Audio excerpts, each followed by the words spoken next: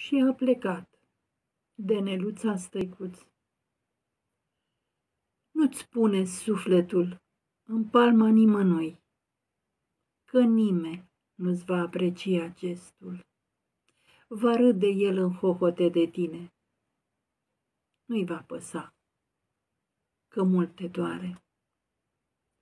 Nu-ți face vise sau speranțe, că dacă tu vei dărui, și celălalt la fel va face și astfel voi vă veți iubi.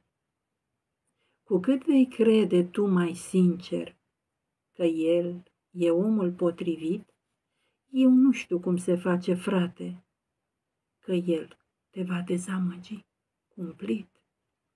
De ești indiferent și tare, nu-l bagi în seamă sau refuzi, ă, te caută el zi și noapte, rugându-te să mai rămâi.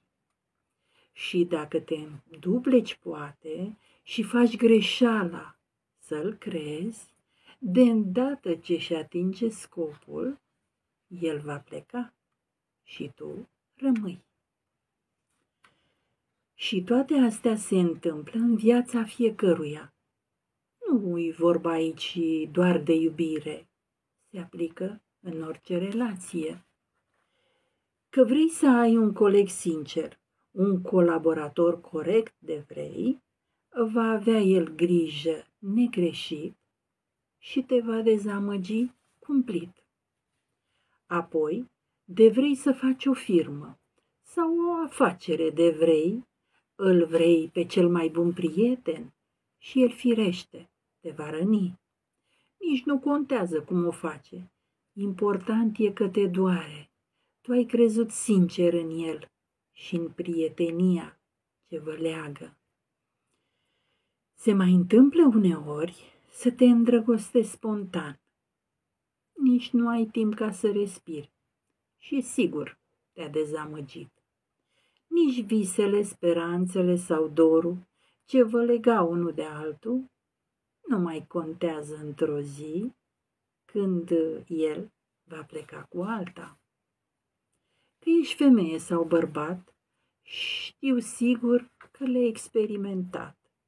Ai crezut sincer tu în el și ai crezut că și el va face la fel.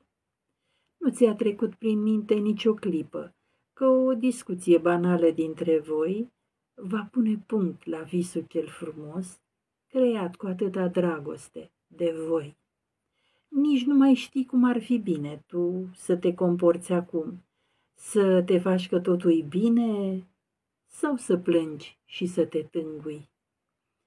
De te vei preface că totul e ok, sigur îți va spune că tu ai greșit și l-ai părăsit. Și dacă ești sincer și îi spui că îl iubești, sigur îți va râde în față și va spune că îl minți.